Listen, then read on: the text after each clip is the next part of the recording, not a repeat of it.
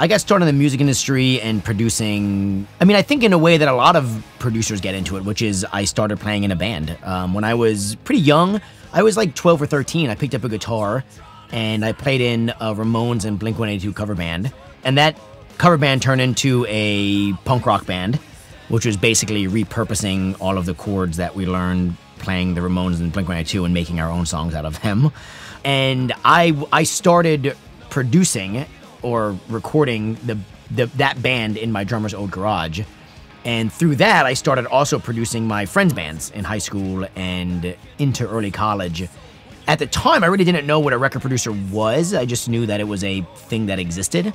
But then when I found out that it was what I was doing with my friends, I was like, oh yeah, I, that I want to do that for a living. That sounds awesome. so uh, from that moment, I sort of just like had my eye set on transitioning out of playing in bands and producing bands, artists, records, whatever that looked like to me, you know?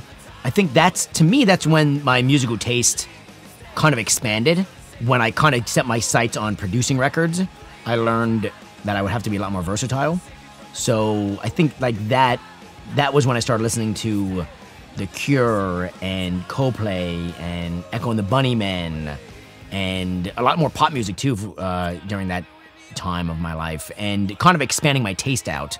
So through that, I learned that a record producer needs to be able to straddle a lot of different genres and that it's kind of up to us to make the music, right? And so that was a really interesting, kind of profound moment for me as a teenager that transitioned me into becoming a full time record producer. So, some of the breakthrough records that I worked on that I feel like really catapulted my career, I think any of those records for me were records that at that point in my career got me in new and different rooms because I think that is how me as a producer evolves and grows is, is is is to be in different rooms, right? So I would say Taking Back Sunday Tidal Wave album, the As It Is record that I worked on. I would say the Anarbor records uh, and singles that I worked on for them. Definitely the Cassadee Pope stuff that I worked on. Um, I would say the Strut stuff because that really got me to transition to a new world. The Lil Lotus record as well for Epitaph because that also get me uh, kind of got me into a world that I wasn't exposed to prior, right? So these are all records that got me in new and different rooms and exercised a different part of me as a producer, which allowed me to evolve my career. So I would say those off the top of my head come to mind first because of that fact.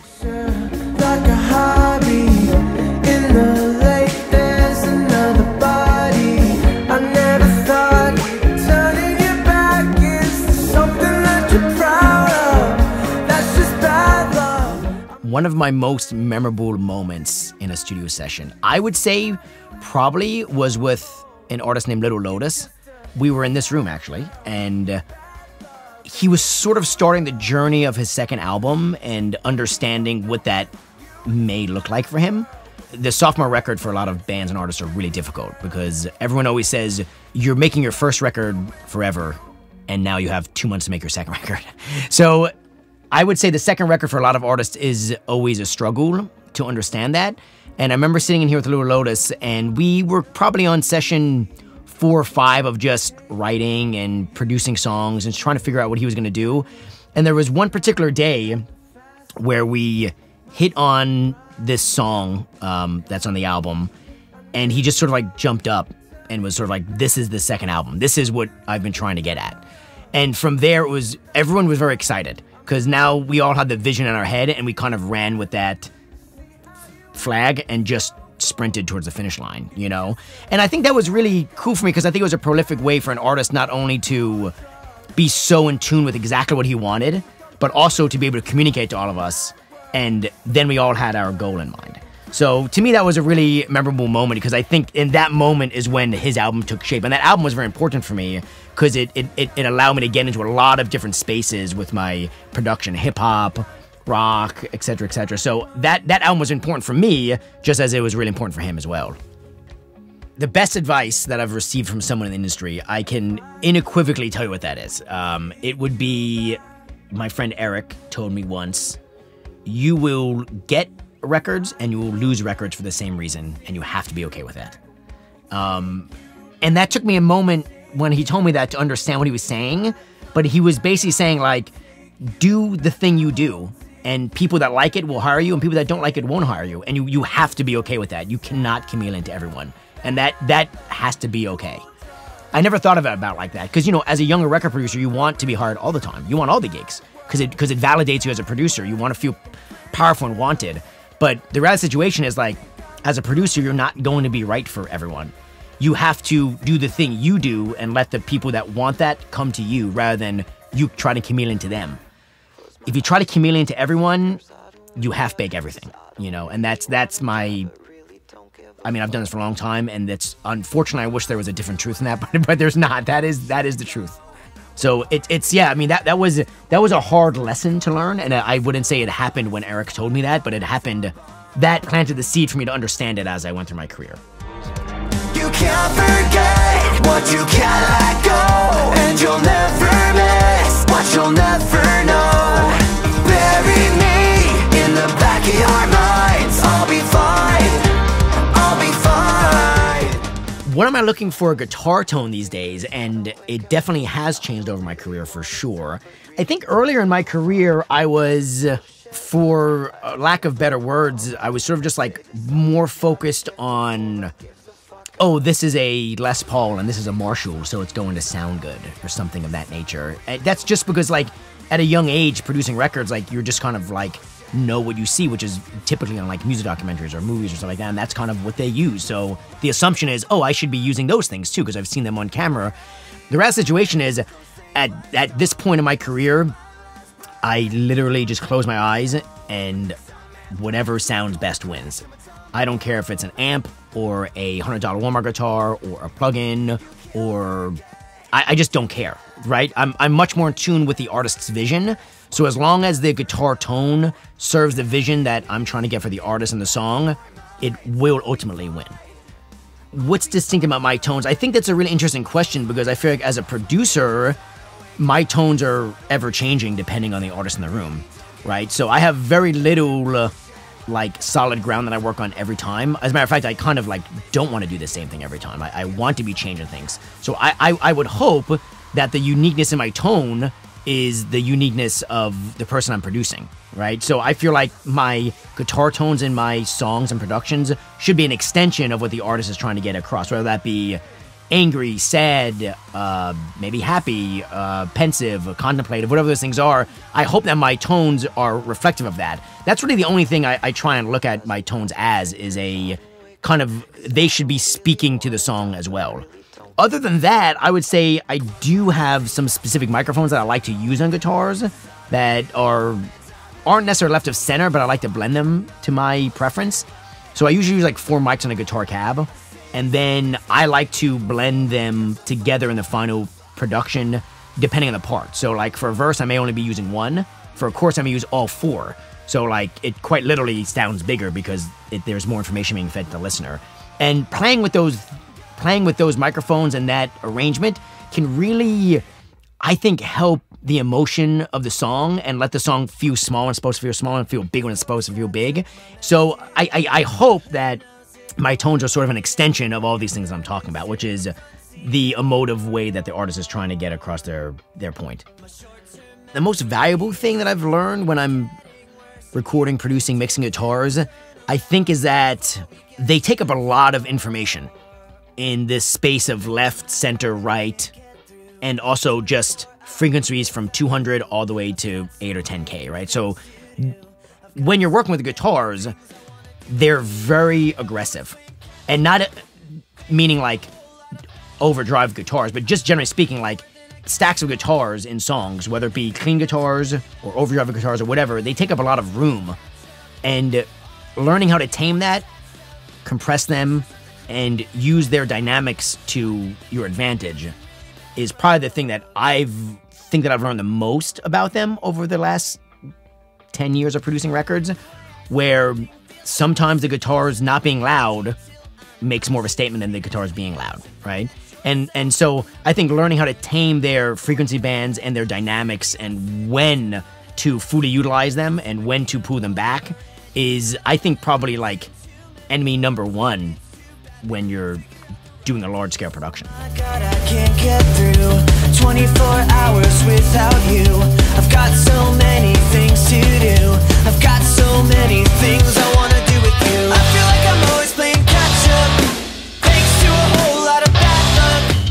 So my favorite guitar and amp cab setup would probably be my Les Paul through my Soldano SLO 100 through my orange PPC 412 cab. It's a really loud, boisterous, just rock and roll, fun sound. And even though obviously that would not work for everything, when we want to get a big chorus, like, and you plug that in, it's it's kind of hard to deny how how big that can be. It's it's almost larger than life sounding. That to me is probably my my my favorite guitar setup. Every time I turn it on, whoever's playing is like, "Oh yeah, this is." They're they're having fun regardless of whether or not it works or not. We're at least having fun doing it, you know. It's funny. I started using an SLO 100 years ago, and it wasn't mine. It was my friend Eric's at his studio, and I got it from his live room and brought it into my studio to plug it in because I, I knew the allure of them, but I, I had never used them. Again, we're going back quite a few years now. And I plugged it in and instantly. I plugged it in through my 412, but it wasn't a Les Paul at the time. I, I was using um, some other guitar. But anyway, I plugged in and it was it sounded so good that I kind of just kept it in my control room for as long as I could before he was like, "Hey, where's my SLO 100?" And eventually, I had to give it back to him, and he actually had to do the record out of town, so he took it with him. And I just was like, "Okay, well, I have to buy my own now." uh, so I, I, went out and bought my own uh, quite a few years ago now, and, and honestly, never looked back. Probably my favorite amp I own.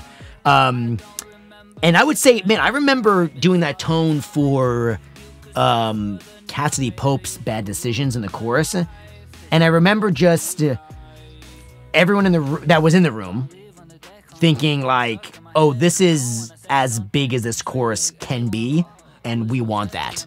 You know, you know what I'm saying? Like this is the moment when this thing happens, and I remember thinking like, there's really not anything else in my arsenal that would have done that moment for her for that song, you know? And that's always a very gratifying experience to feel like I've communicated the message and the emotion of the song through a guitar tone and it's everyone knows it right on the spot.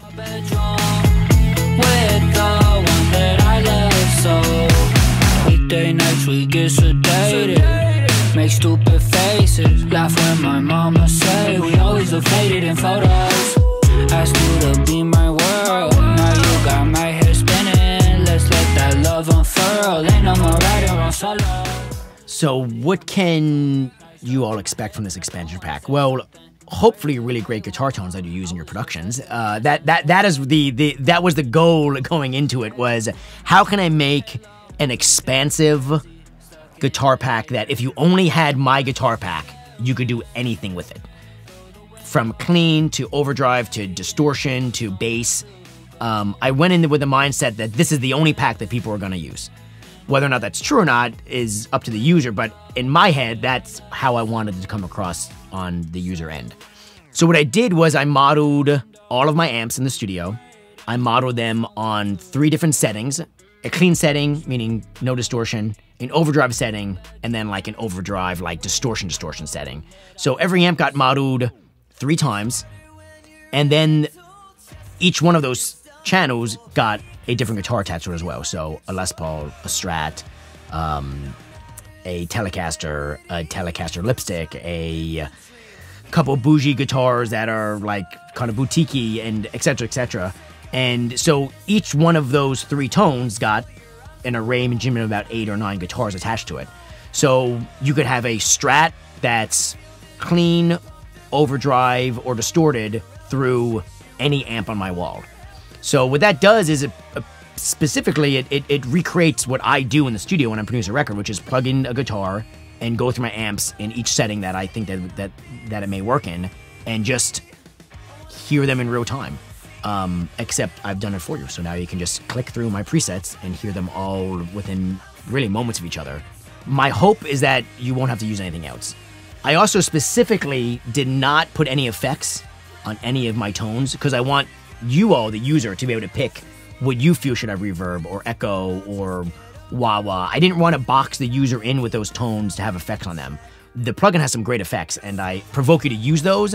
But my tones are all dry so that you can hear the tone for what it is and apply it to your production, and then add effects as you see fit. So there's well over 100 presets in my pack. It's very detailed so that the user can get to any production sound that they may need.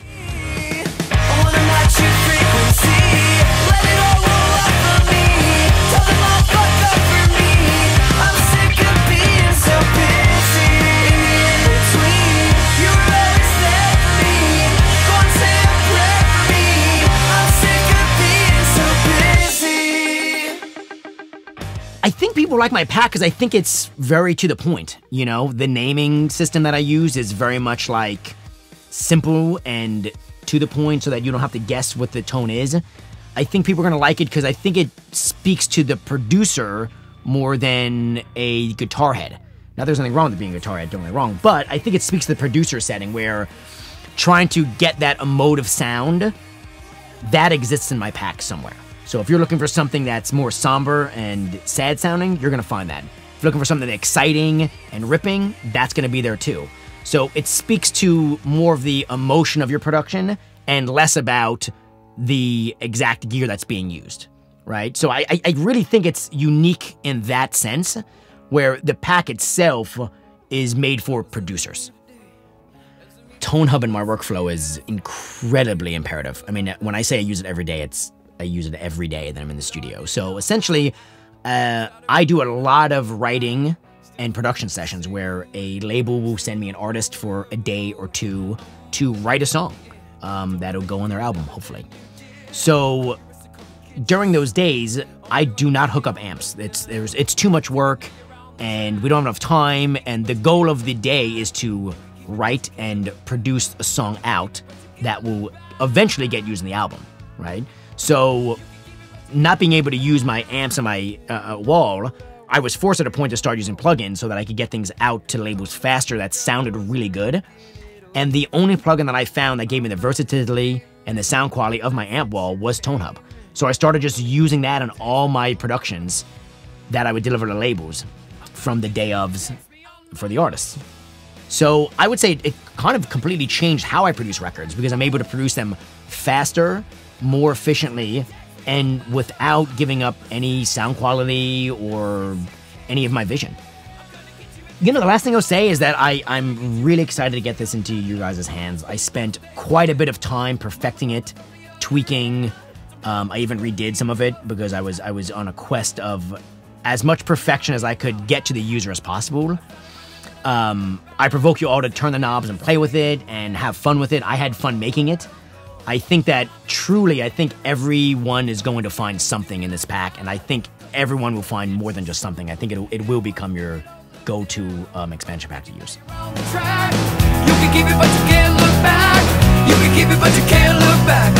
You can it, but you can't look back.